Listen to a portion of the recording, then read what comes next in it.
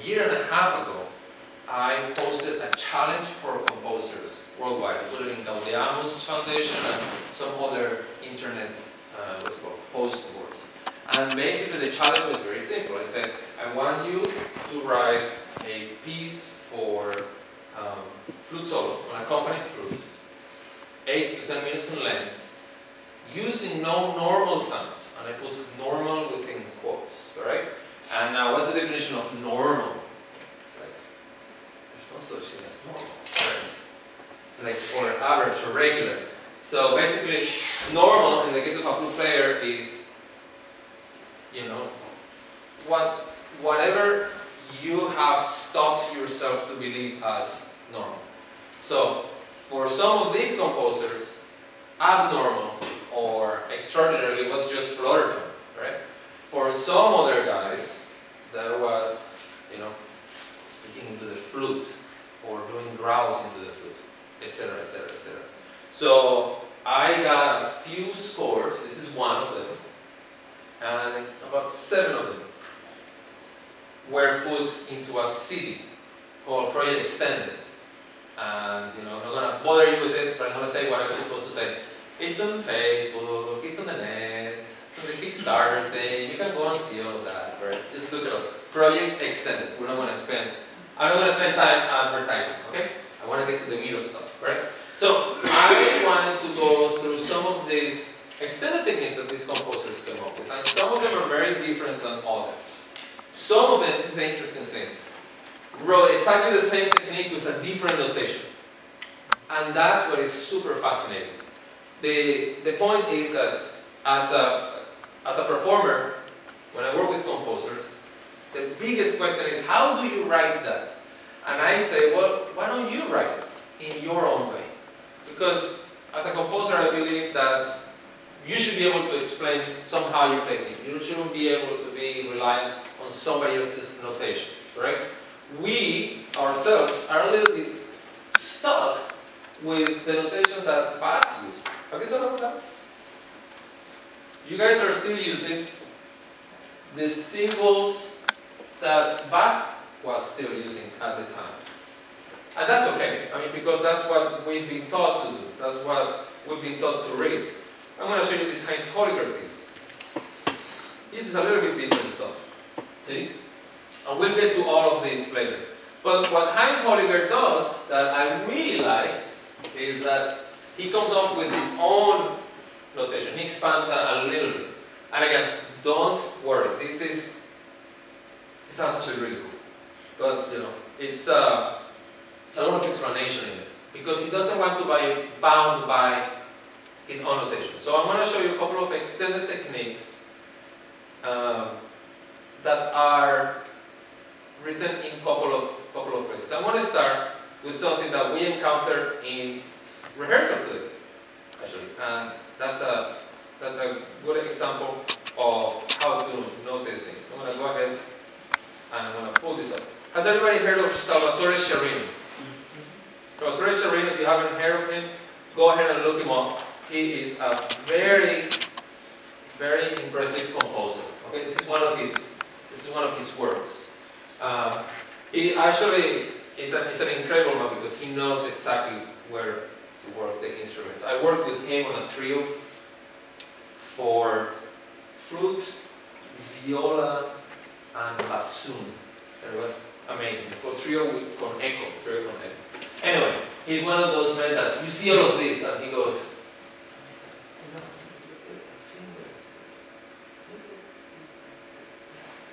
Correct? So, of course, the viola go, oh, I get but he knows very well. It's a very, very quiet man. Very, very, very pleasant to work with, okay? One of the things he loves to do is, if you see those, those things, those are called jet whistles, right? Uh, we encountered those during rehearsals today. There's many ways to, to notate jet whistles, okay? I'm going to jump to the first piece that we have.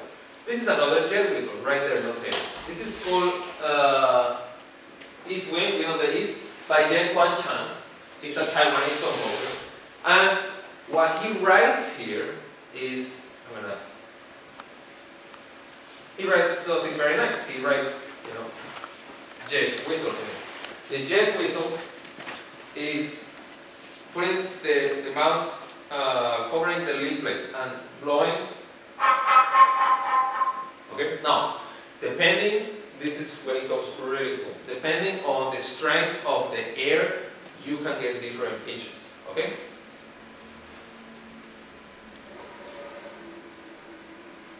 That's an E flat. That sounds a seven low. Can you hear that? Seven.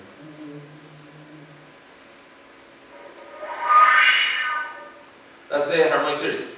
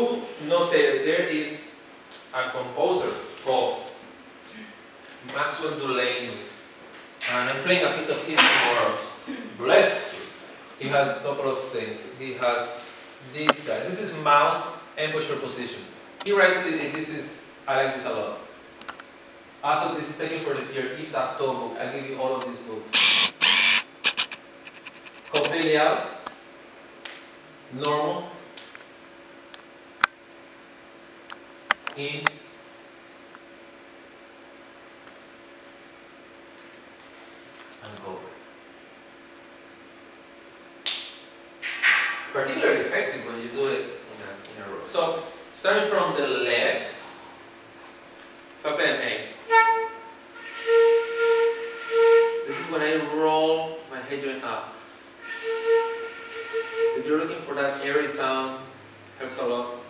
Normal. The one with the dot in the middle is in. It is a very, very reedy sound. And then finally, it's the one where Yves Artojo flutes, present day flutes. It's uh, my favorite, my preferred system, my preferred um, reasons after presentations.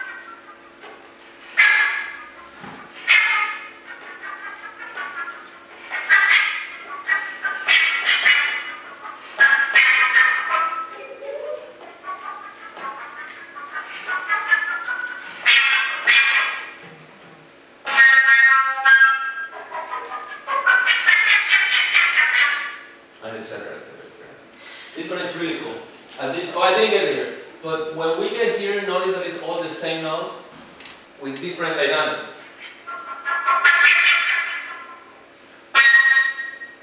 And then there's the, the overload. That's, that's jet whistles really in a nutshell. Um, this one in particular has the added fingers, which you are welcome to use. You can do a little bit a scale, but mostly the jet whistles are really depending on pressure. I would say that if anything, pressure is more important. Having said that, you can play with the same dynamic.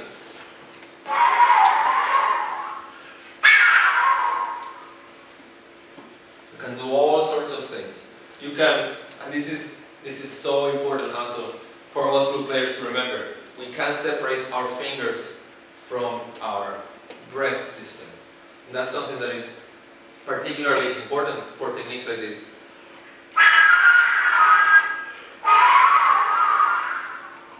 Great, you can do any number of things. So a mixture of those. Any questions about this right now? Yes, sir. Um, when you talk about the armature adjustments rolling in and out, Yeah. um, is, are the pitches usually notated differently just to adjust for the intonation changing with the severely rolling in and out? There have been very few instances where I've seen pitches not taken. Okay?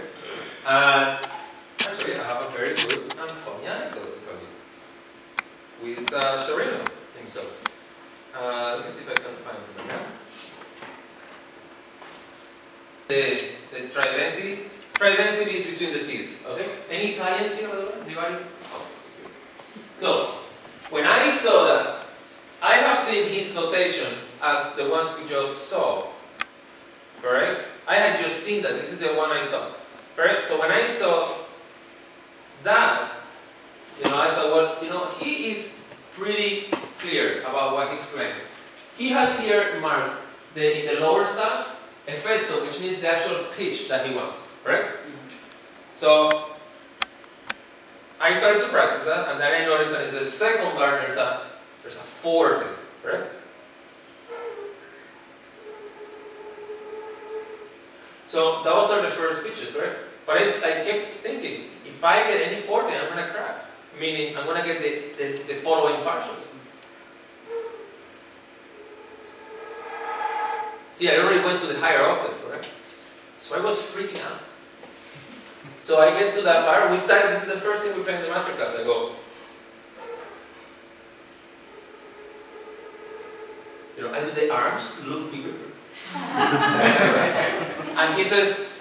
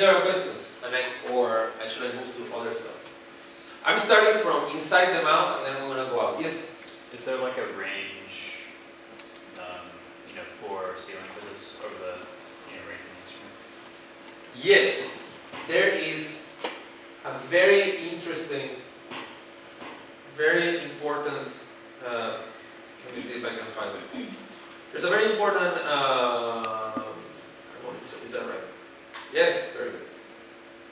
I did this myself.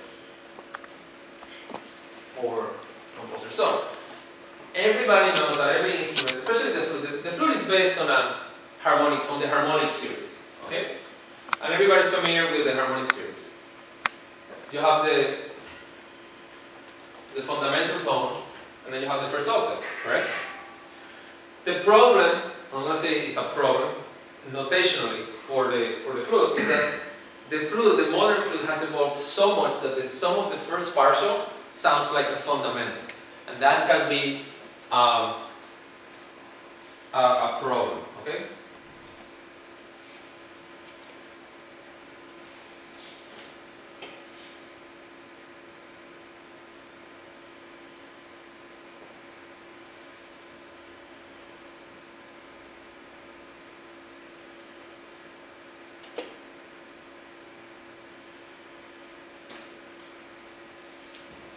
You see this more or less? I'm going to explain in a second. Sorry. Okay, so let me explain to you. The, the flute, this, from the low B, some flutes have low B, some flutes don't. They all have low C for sure. So the seizure is the fundamental of the, of the flute. This is super important to remember when writing any of the things we want to talk today about. This is my lowest note. That's the low B. When I lift all my fingers, that's a, that's a C sharp that you see there. And that's my fundamental range. Okay? Think about the flute as one string only, like a one string instrument. Once I play re, that is the first partial of this D, right? Understand? That's already the first partial. How, having said that, the technology is so good, and by just moving a finger, you know, you make it sound so pure that it sounds like a fundamental. So it's, uh, I don't know, it's your first partial pinked, you know?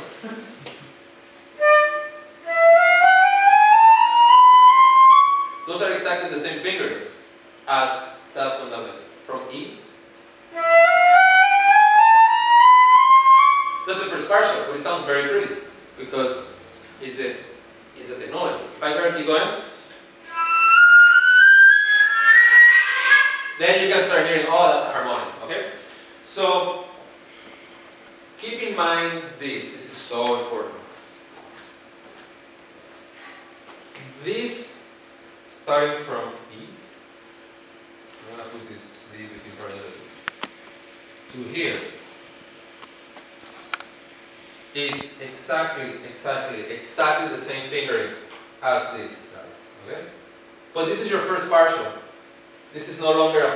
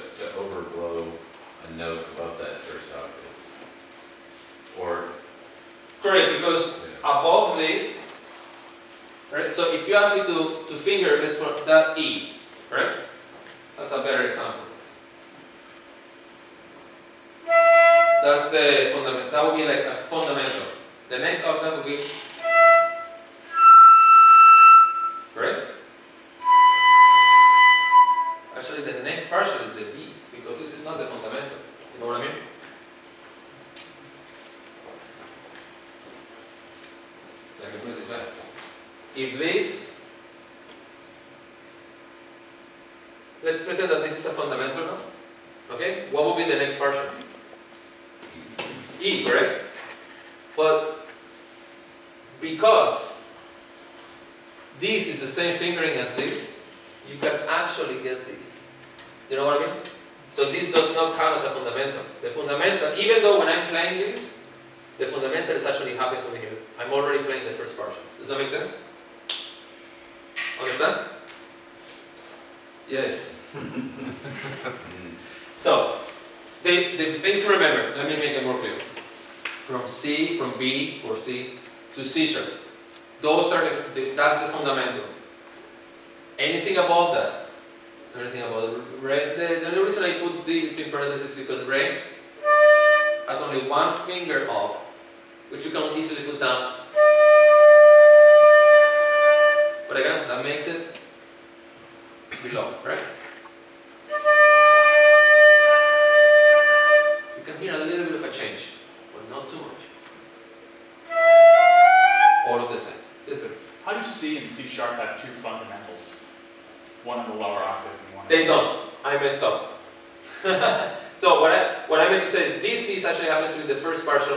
This low C. Okay, Now, oh sorry, this happens to be this partial because naturally the fluid gets caught here, right? But you know, if I have a G, the air goes in here, stops here, goes out. So I have this C here. My string goes all the way to here. I lift. This is also a C. So I have a fundamental here, and I also have a fundamental in C, correct? So those two guys, and I don't have any. And then you have the C sharp. You have the lower C sharp. But that's also fundamental. Because I have a, an actual, uh, I want to say an octave from the B, an octave, and then an extra C, C sharp, an extra two notes, right? So yes, you can have two, two C's and two sharps in different parts for a fundamental. Harmonic range, the harmonic as played in the flute. Okay? Why is this important for you to know? The first thing you're going to notice is that the lower the note, the more harmonics you can get. Notice that the C sharp that I just played,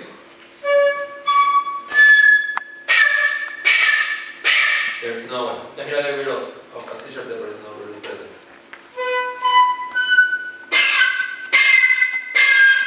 You get the hit of B? A little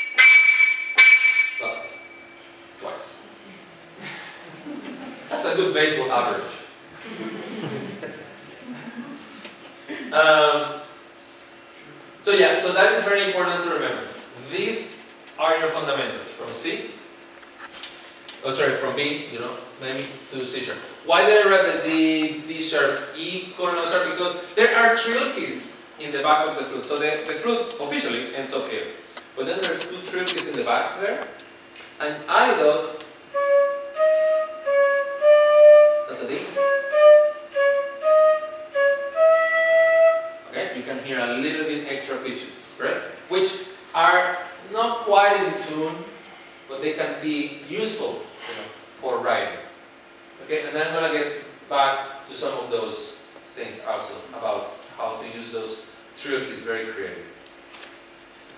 Now, why did I spend all this time telling you about this? Because we're talking about the jet whistle range. And the jet whistle range is um, basically the first octave and its partials.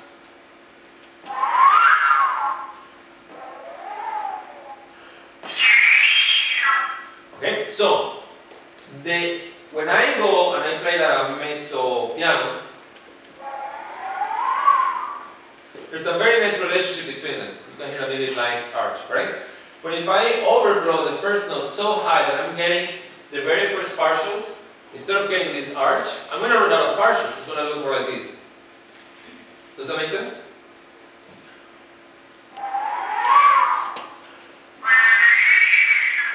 Can you hear that? I mean, there's a change in timbre, but you cannot really hear those defined pitches nearly as much as you can, just by virtue of the physics of the harmonics, the overtone series.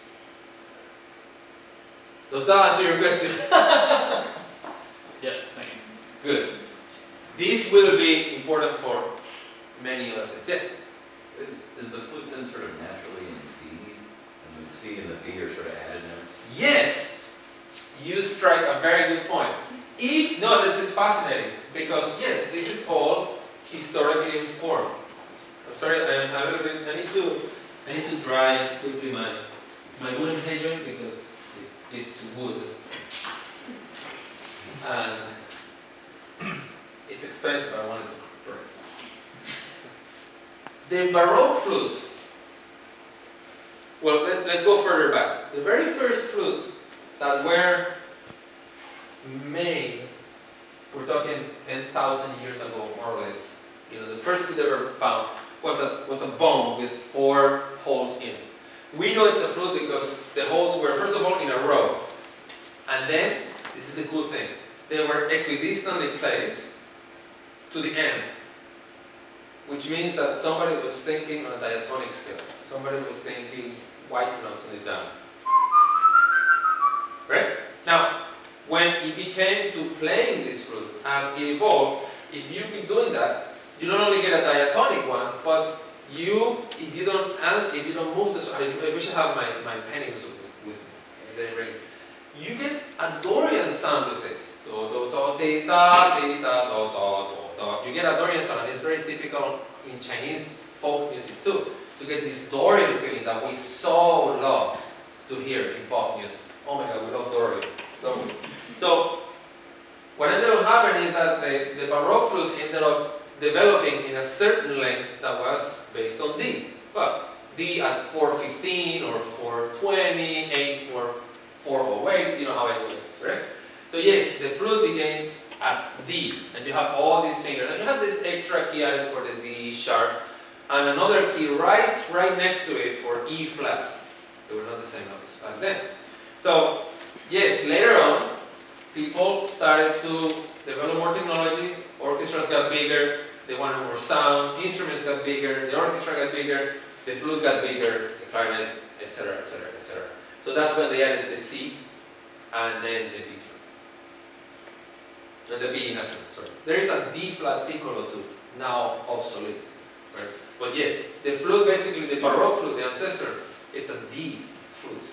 The lowest note is a D. And then they added a C, and then very recently they added a B. And many, many flute players actually don't have, don't have a lot of C. I mean, a lot of, a lot of them they still don't have. Do you think, Erin? I mean, Uh, It's more common Or nowadays. in Europe, less players play B flat. yeah, In America and and Asia, it's, it's more B flats. a lot more. Actually, when I was in, working at Powell, I worked on a flute that had a low A. And, you know, there's so much your pinky can do, you know. You already have one, two, three, four keys, correct? So the key was put here for the A. So there will be this mechanism that will go down to have one more note at the end. What the problem was, you cannot take it apart. So the flute was one piece, except for the headjoint. It was about this long. You know, they had to make a custom case about way big, correct? For the flute. It was kind of cool to work on. There's a flute in the Smithsonian the Dayton Miller collection like that. It's a B flat flute, foot joint flute, all one tube. Yeah, yeah, yeah. So you have to have like a giant, It's a giant case. it's like a pool cue. Yeah, yeah, yeah, exactly. Yeah, so um, oh, I lost my, my train of thought. Flutes in D.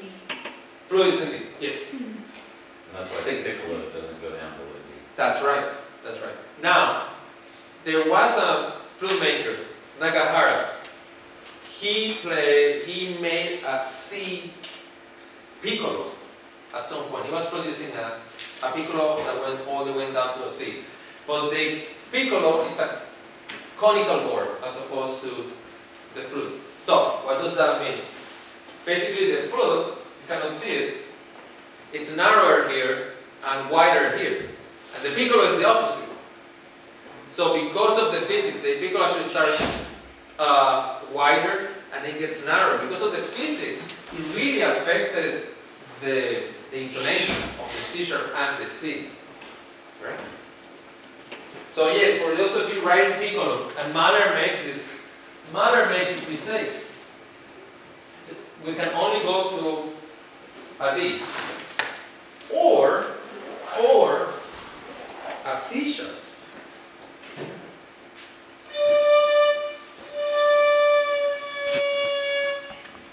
You wrap your finger around a little bit, you can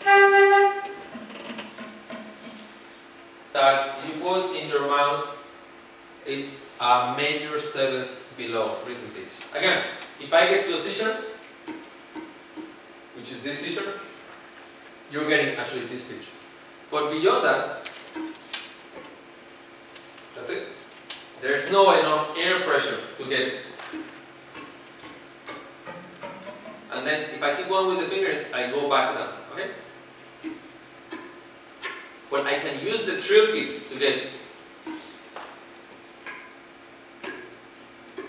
to get those extra three notes, the D, the D sharp and the E, or the C sharp, the etc. etc. Everybody follow me on that one?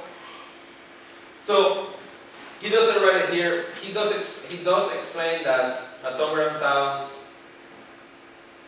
um, sounds a seventh below. He explains it there, so he doesn't he doesn't write it. I love this piece because it is this is all tongue rams. I play a little bit of this. I'm gonna play some maybe one, two, three, four, five. The three, four, five. Me start from the fifth system. Gonna play a little bit.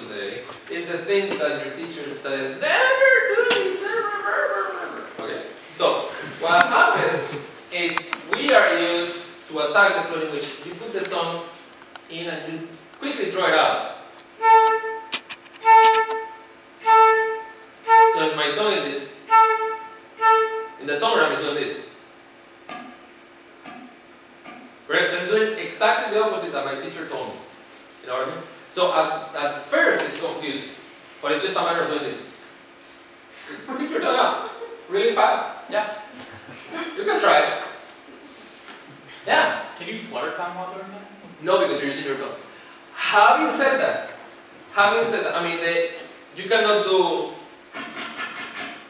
correct. You don't get the you don't get the round because you're doing uh, right. So literally, the tongue is doing this. The tongue is hitting the. You can actually hear it right now. This is an A, but I'm. That's like an octave lower.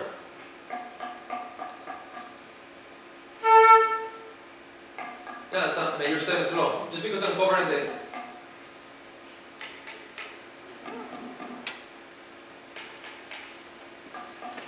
Isn't that interesting? Just by the virtue of covering the hole. The physics are fascinating. Actually, there's a lot of air that goes into the fluid and circles back out into the the the flute player's mouth. So not all of it goes in, not all of it goes out. Some of it actually comes back in, and that's why when you close that, it goes down because it completely goes in. It's fascinating stuff. So you cannot do that. However, he does write at some point something like that, right? Which is that flutter tongue your right? So you can mix all of it. You can mix your your floor tone with your um, jet whistle or no. And that's actually, you know that there's two kinds of flutter tone. There's the there's the there's the uvular flutter tone, and there's the tongue tone. Tone. Tone. Uvular. And what I like a lot about the uvular flutter tone, the one in the back, is that you can do it relatively slow. And it doesn't get on the way of the low note. That's with my tone. That's a much more pure low sound in the back. Just by saying the guttural, guttural or uvular. Uh, you can try it. Uh, okay, don't try it. Such shy composers. Uh, uh, uh, Ferdinand in Cassandra Crimson asked for both kinds. He says that what the flute player should be able to do both. Yeah. So, um, when you're telling the flute player what to do, is there, do you just say tongue flutter tongue or uvular flutter tone in the score? Yeah. You just write it out? You Just write it down. Okay. Guttural Florida. Yeah. I have seen TFC and GFC. You know, I've seen this.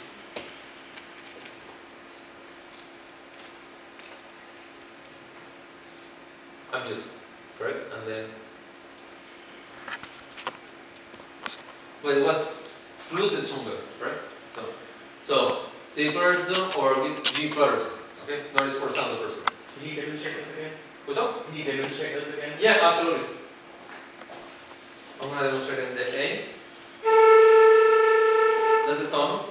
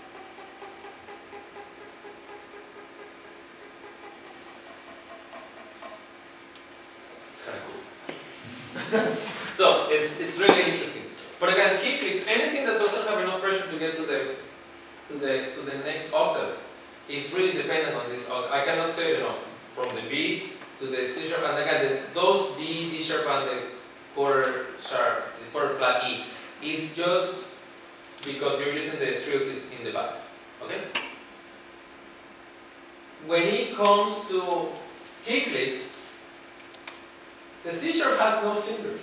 The C sharp is played like this. You have no fingers on except this one guy here. Correct? Right. So that's all you get. How to kick that one. You get a lot of residual notes. But you can get some of the kick there. I always suggest above the G, above the G, when it comes to the key clicks,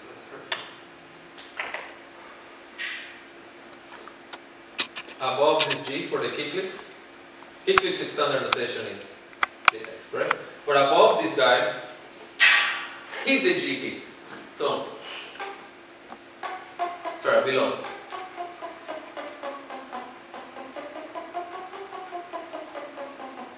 I'm only seeing the G. If I do the opposite, you get the other extra clankiness of the keys, you know, and above you, there's, there's not much to do. You know, and so you don't get a lot of the keys, correct? So,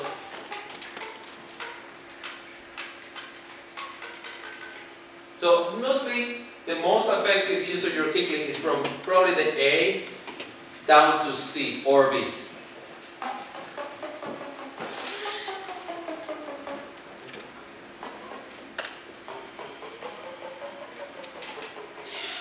Questions about the kick, please?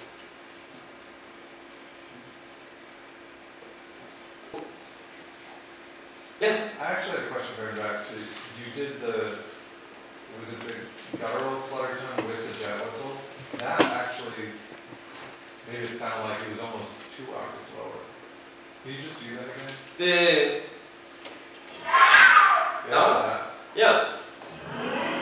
No, that's not a jet whistle there. I'm only doing That's not. no. The jet whistle you will get a lot of air.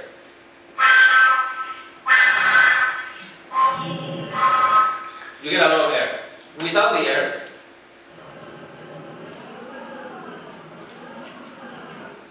I like to call it the lion's roar because calling it the other thing is a little more personal. it's like, oh, I'm getting a good trouble. So- Okay, so that's no, there's no air going through that. You're doing, You're just covering, you're you're just doing that. covering mouthpiece. Yep. To get the. I'm actually in that one. I'm doing both at the same time, and then you which you can answer. You can do both trr and gar at the same time. So.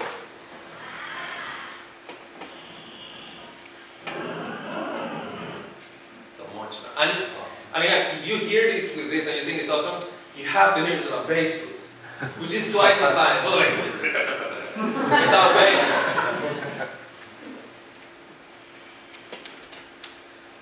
Yeah, any, anything else for, Did you both, uh, the flutter and the guttural, um, with an actual pitch? yeah.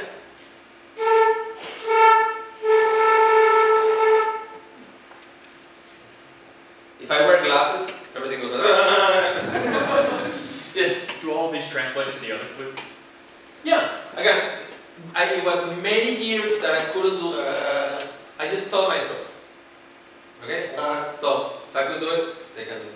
And I know singers that have taught themselves to roll the tones. I know some folks say, I can't roll, my tongue. And that's okay. But I know singers that have taught themselves to do it.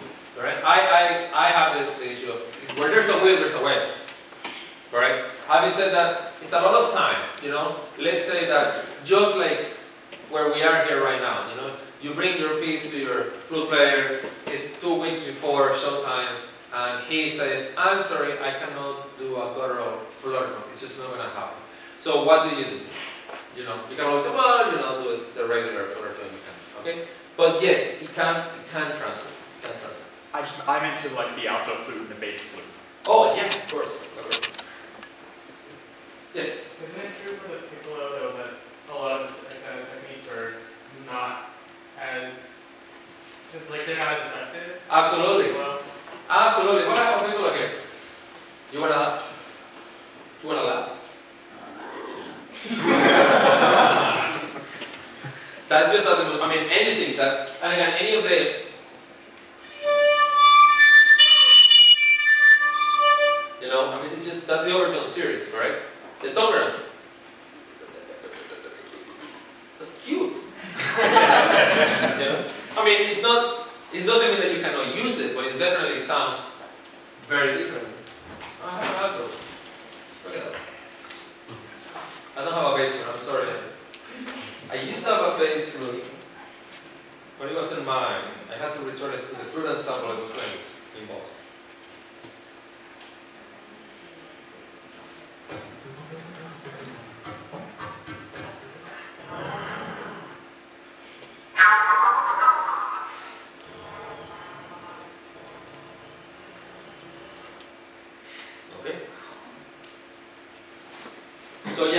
Definitely think about the, anything that doesn't have air, you have to think about the flute as a drum. Okay? It's a, it's a drum, really. Sometimes you hear it this way, sometimes you hear it here. Right? And sometimes you're just speaking to it. Okay? So, but again, it won't sound the same in the piccolo. So it's like having a really, really, really nice drum or a really silly little drum. Right? That's a that's a good good point. Yes. A lot of techniques, extended food techniques that we're talking about quite delicate and soft in its nature.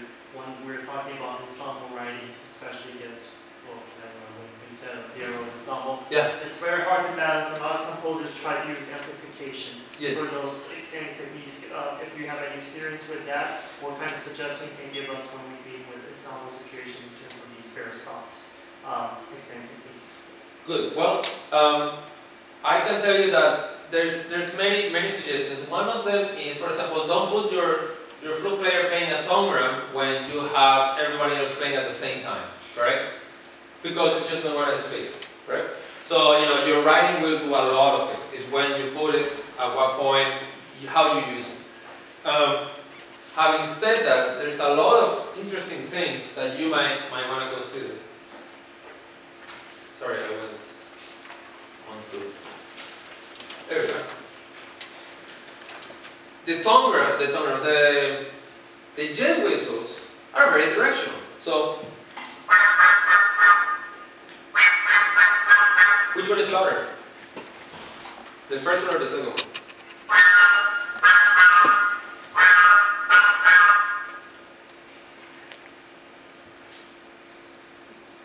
The same? About the same? The second one is a lot louder because there's really no air. The flute is vibrating this way, but this way.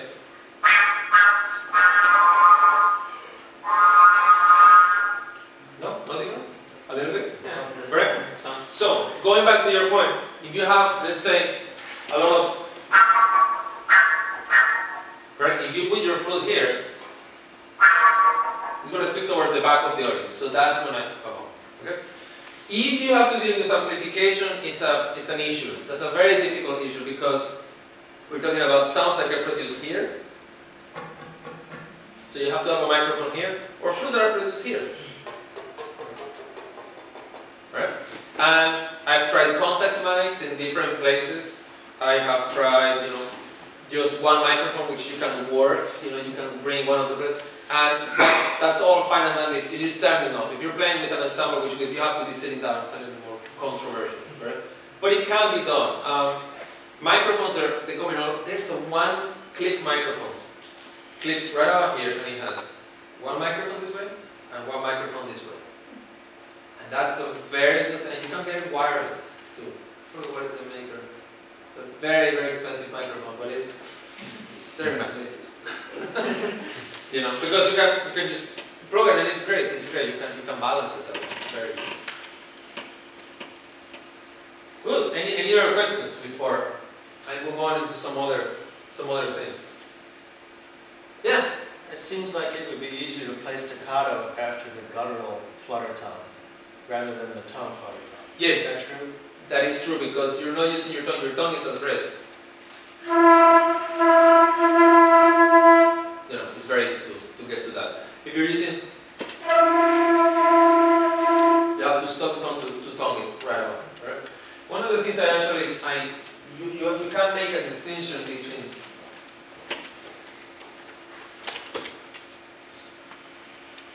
Let me see if I can write this right.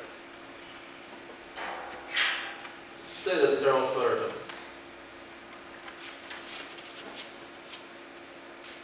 I'm gonna put it in flutter. When you see this, and again, this is when it becomes really interesting psychologically, okay? Let's say that you're using your tongue tone. Let's, let's say that is tongue, okay? Or guttural for that matter, right? When you see this in a 2-4 bar, I actually hear, I actually see this. Can you see why? Because there is... That would be breaking it, right? So, it's a little bit controversial. Um, how would you have seen it? Have you seen two notes or one note? Would you have, would you have separated them? It depends on the context. I sometimes separate them and sometimes I just do a breath accent on the second one so that there's the definition of the note, but Correct. So as you can see, she's also a flute player, by the way. So two different. How would you have seen it? Ah, so you're also a flute player. How would you have? Just a slight, like slightly separated, like barely. A slight separation. I Okay. guess it would depend like what else is going on, if it's an ensemble, what else are we doing? Exactly. Or do we have definition. So it depends on many, many factors. So I would say, whichever way, be redundant. I cannot say that enough. So if you're gonna write something like this in which you're gonna follow, do write this if you want it, or you know, separate it, or, or somehow, correct? Make it very, very, very obvious what your intentions are when using flutter. Because flutter a lot, I equate it to the to the tremolo in a violin, right? which you, they, they sometimes have half and half and half and half, and which is going. blah. They wouldn't go. Understand? So it's more or less the same. And again, as you can see, we have three slightly different opinions, which are you know depending on the context and other information. Um, yeah. Let me quickly cycle think about the harmonic series and the overblowing.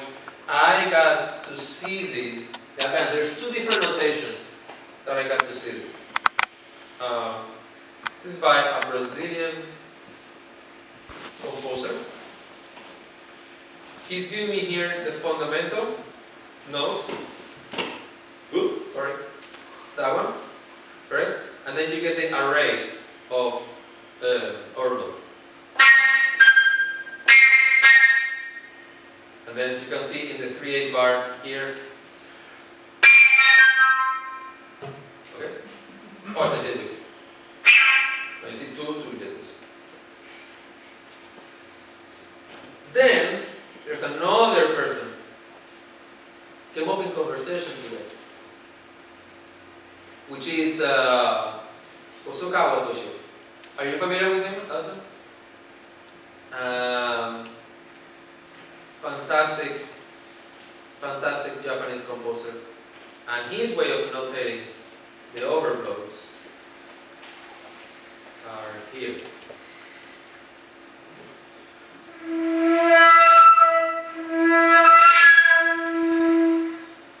Right? And again, what he's just giving you is the, the harmonic series, the array of harmonic series that he wants to hear. Right? The first one is an E.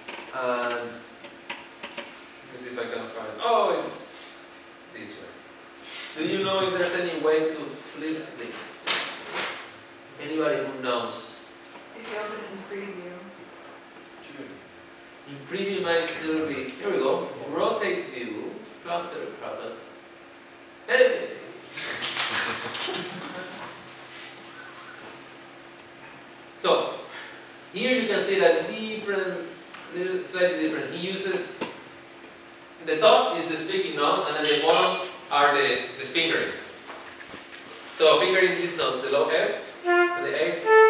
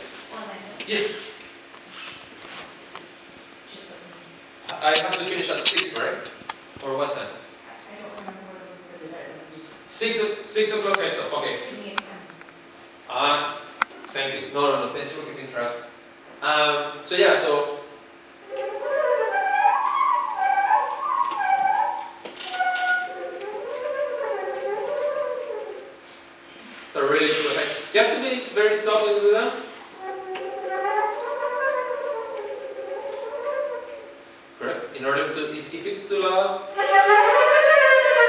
sounds are already messier or you get a lot of the from the from the turkeys popping out. Then there's another one technique that I really like and you can only use it in these two particular notes. See that G after G so he's doing exactly the same thing, but this is your F sharp, but this is your F natural.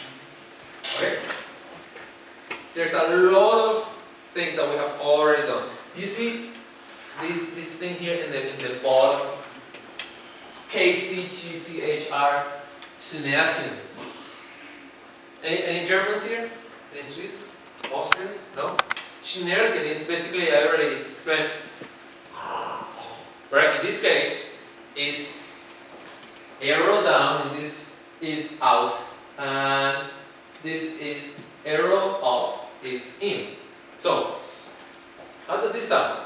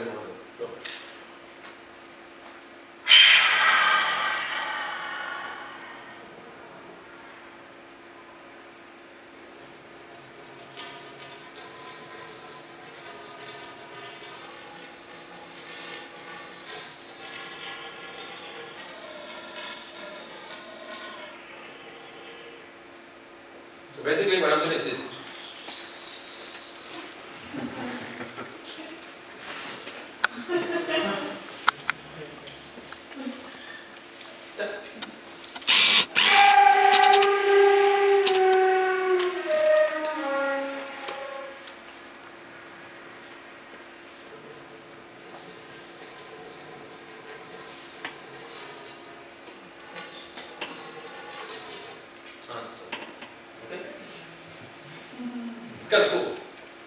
And again, everything sounds analog analog tableau. That's one of my favorite. And then trumpet sound, which is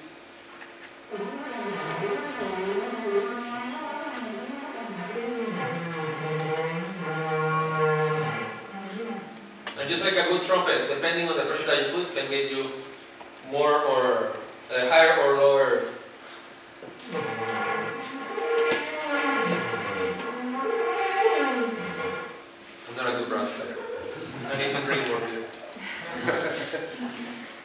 Um, the other very neat thing that he uses here is the circular rhythm.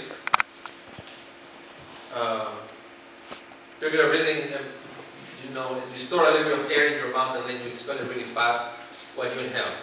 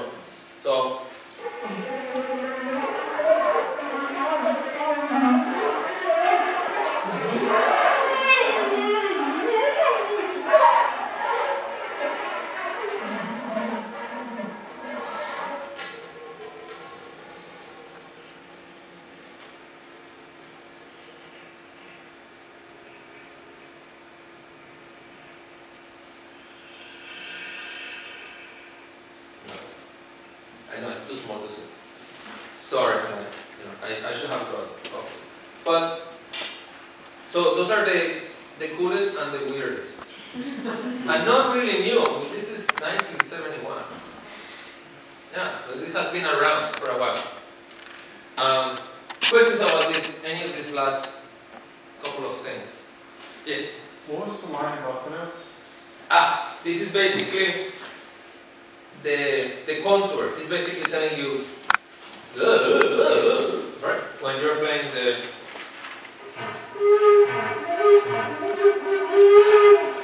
That. Is just arbitrarily open that. The, excuse me. The note below here is Stimme, this is voice, ad libitum. So think, free glissando, you know, within the given, right? While you're playing. basically. Sounds much better when I have the foot in my, in my face. There's another things going on. And Ensayo melis compacto ton, lippen vibration, lippen vibrating. So we're doing that. The body rabbit. Also something that Wax this man uses. It's a good way to remember. Any other, any other questions? Yes, sir. Uh, Can you demonstrate the, the speaking into the flute? Speaking into it, what I was just doing, or different one? Because there's, in this one in particular,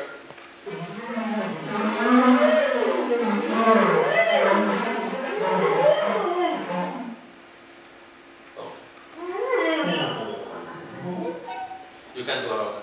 Any singing, uh, I'm playing at the same time, we didn't get into that. You know, I like a lot to do um, falsetto. Really rubs against the, actual pitch.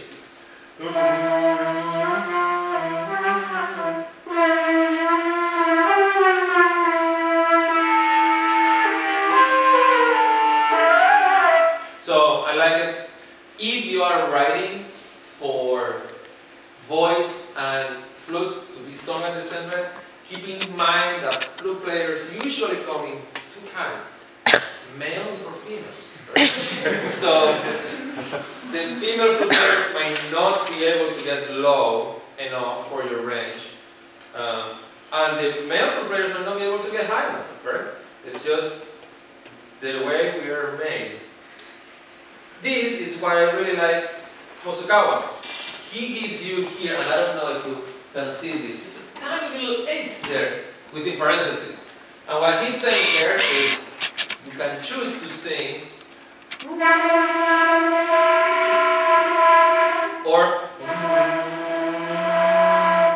you're welcome to sing this an octave lower or you're welcome to sing it at pitch. That's why that eight is within parentheses. That's a very, very clever use of notation to say either or, whichever you prefer. Do you understand that? That's, that's very, very clever of him. Yeah, I think we have six more minutes, right, for questions, any questions? If there's no questions, I'm gonna ask you to please go and find Project Extended. I do have the CD, I didn't bring any with me Uh, to the, yes, Um, I don't know if you talked about this already, but can you just tell us in general, what are flutes good at? What, what do they do differently from others? What do they do for this a really good question. We, I can tell you, we fast, we can play high, we can play loud and high. We don't like to play very staccato low, so all of the it's harder, but the other wire, that's much easier, correct? So fast staccato is very nice on the top, and in the low, not so fast staccato. Okay, the tonguing gets a little bit more complicated. Um, we love runs. Runs are very easy for the flute, um, with tonguing or without tonguing. Um, I would say not a lot of loud things, right? And any percussive effects cannot be too fast, right? So, for example, if you wanted to do as, I don't know, um, a descending scale, you can do, right? Or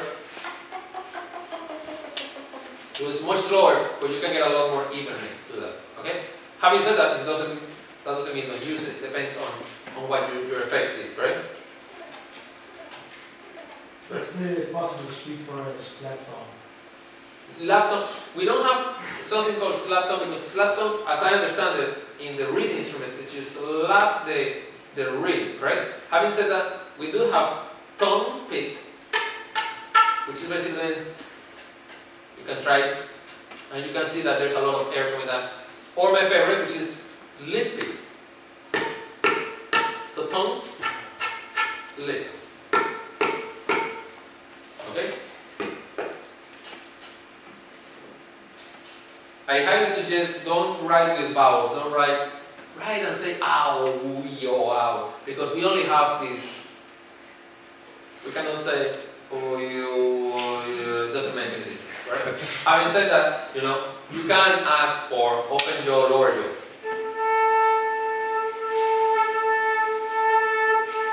You can ask for that, and that will increase the opening a little bit. Okay? And again, any, I get a lot of attacks like they do T, T, but S is very good. H, nothing. Right? and it, there's a number of things, you know, like, can you start with an F? No, because F is,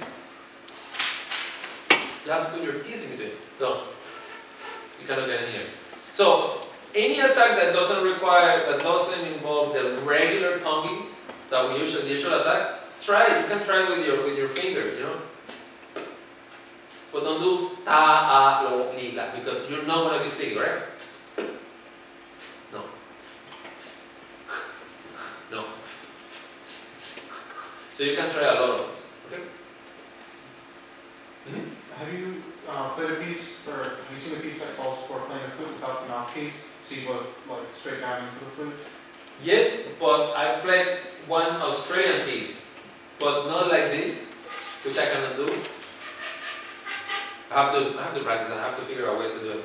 But I played a piece based on a didgeridoo. I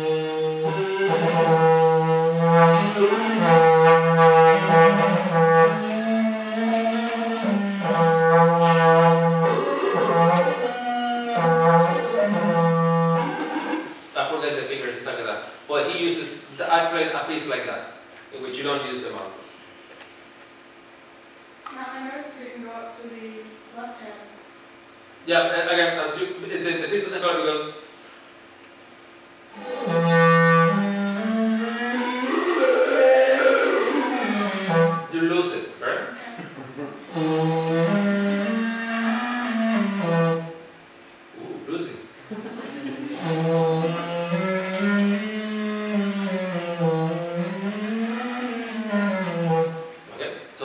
you can't do that.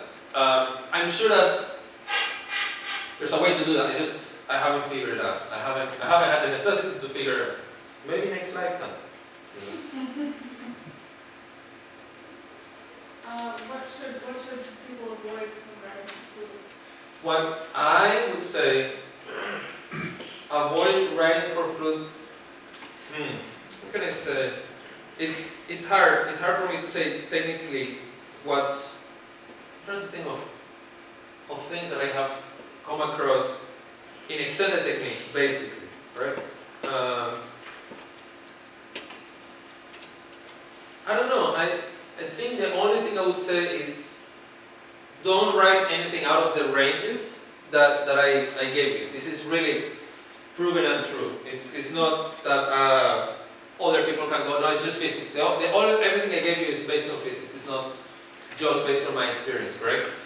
There's a, there's a good number of resources there that tell you to do it. So keep everything within range and keep the expectation of a lot of the percussive effects are going to be slow to be effective.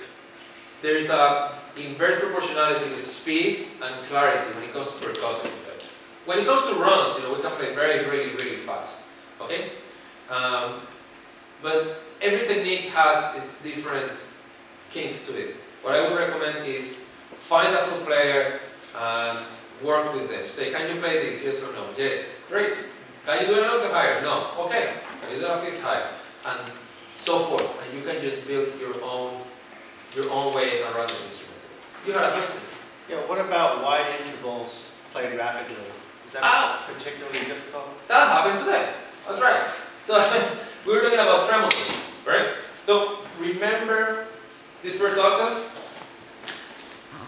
ends here, correct? Basically, then you have to switch lips to get to the other octave. I had a tremolo today, which was F sharp to C. That's not a problem. That is actually very easy. But then the tremolo that was a problem was this one because the octave ends up around here. Correct? So I have to move my lips in order to get that. So the first the first one is well within the same octave. But the other one I have to move my lips. So it's not as clear. So yes, when you're talking about tremolos, keep in mind this note. The C, C sharp, and D, because those are, that's fine. But when I get to a seventh, F sharp to E, I have to move my, my mouth. That's easy. That's not because I have to jump uphill. You know what I mean? So keep the, what, why is because if you change your embouchure, the higher you go. That's right. the more difficult. That's right.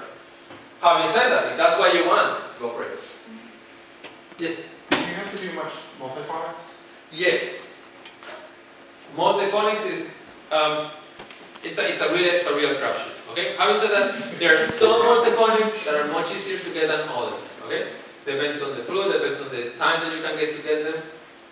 Um, this book, the Artaud Present Day Flutes, has all multiphonic fingerings for piccolo, regular flute, alto, and bass flute, and those are all possible. Some of them are more difficult than others, but all of those are doable. You know, I have that book, and every time a composer gives me a multiphonic without fingering, I go and find it in this book. Okay? Really highly, highly suggested. And yes, there is ways when you're working with a multiphonic, if your flute player has a problem getting them, what I suggest is telling them to break it down. So there's this multiphonic. There's this low C.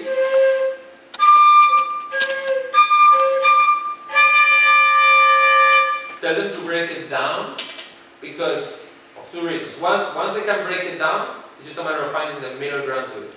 The second thing you can tell them is to add vibrato. A lot of flute players, when we find a multiphonic, we cannot do.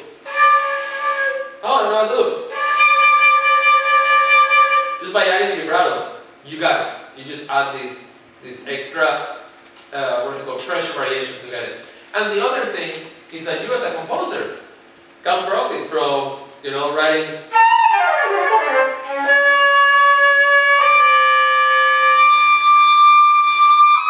you know, taking one of the notes of the multiphonic, right?